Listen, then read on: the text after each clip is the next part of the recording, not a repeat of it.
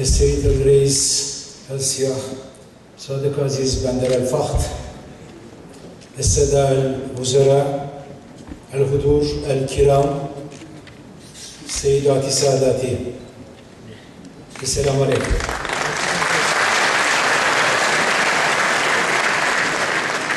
Bu güzel toplantıda birlikte bulunmaktan hepimiz büyük bir mutluluk yaşıyoruz. Ayrıca 2013 yılında Arap Turizm Örgütü tarafından Bursa'nın turizm başkenti, ana destinasyon seçilmiş olması da bizi ayrıca sevindiriyor. Çünkü bu kıymetli sıfat vesilesiyle Bursa'mızın tarihsel ve doğal güzelliklerini başta Arap alemi olmak üzere bütün dünyaya tanıtmak için bir kez daha büyük bir fırsat bulmuş olacağız.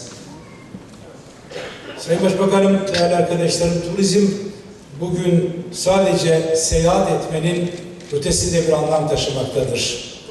Turizm insanları tanıştırma, kaynaştırma, böylece barış ortamını geliştirme kavramlarıyla da ön yargıları yıkma anlayışıyla da iç içedir. Turizm aynı zamanda başta istihdam olmak üzere dış açığın giderilmesinde çok önemli ekonomik bir mekanizma niteliği de taşımaktadır. Türkiye turizmin büyütülmesinin ve geleceğin garantiyi altına alınmasının ancak uluslararası işbirliği içinde ve uluslararası bir barış ortamı içinde gerçekleşeceğine inanmaktadır. Bu çerçevede 2012 yılında dünyayı gezeceğini varsaydığımız 1 milyon turistin yaratacağı 1 milyar 1 milyar turistin yaratacağı ekonomik gelişimin ve sosyal dönüşümün akılcı, akılcı planlamalarla ve kaliteden ödül verilmeden sürdürülebilir kılınması önümüzdeki işbirliğinin en temel konularından birisidir. Bu konuda Türkiye Arap Turizm Örgütü söz konusu olduğunda çok yakın bir dost ve gerçek bir müttefiktir. Türkiye ait turizm rakamları hükümet, hükümetimizle yapılan çalışmaların artık güzel meyvelerinin verildiğini ortaya çıkarmaktadır. Sayın Başbakanımız sanıyorum ki bu konudaki gelişmeleri ayrıntılarıyla anlatacak. Ben sadece iki rakama değinmek istiyorum. 2012 yılında ülkemize gelen yabancı ziyaretçi sayısı 13 milyonken bu yıl 2011 yılı sonu itibariyle 31.4 milyona ulaşmıştır. Yine 2002 yılı sonunda, 2003 yılında Türkiye turizmden 13 milyar dolar, 12 milyar dolar gelir elde ederken bu rakam geçen yıl 23 milyar doların sadece tur giderleri çerçevesinde baktığımız zaman 23 milyar doların üzerine ulaşmıştır. ulaşmıştır. Bu rakamların ışığında Türkiye 2023 yılı hedefini 50 milyon turist ve 50 milyar dolar turizm geliri olarak ortaya koymuştur. Bu hedefimize ilerlerken ikili ve çok, çok uluslu ölçekte iyi ilişkiler kurmak, tarihi ve tabiatı korumak, kaliteden ödün vermemek sürdürülebilirliğin temel prensipleridir.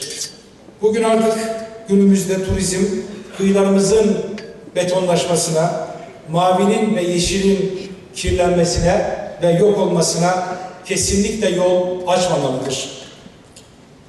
Bu bakış açısıyla Türkiye, turizm sektörüne hükümetimizin verdiği öncelik ve özel sektörle işbirliği açısından örnek alınacak bir model oluşturmuştur.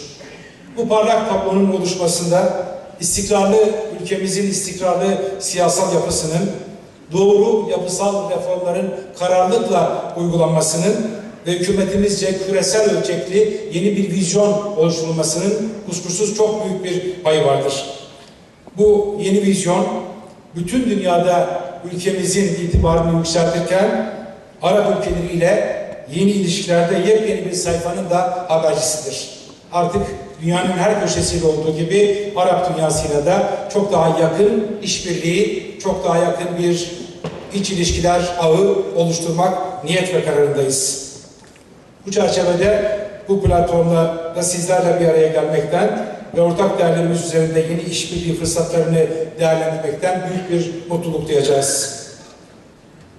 Sayın Başbakanım, değerli arkadaşlarım, Sözlerinin sonunda varlıklarıyla Türk-Arap Turizm Buluşması'nı onurlandıran bütün konuklarımıza, başta Sayın Başbakanımız olmak üzere bir kez daha teşekkür etmek istiyorum.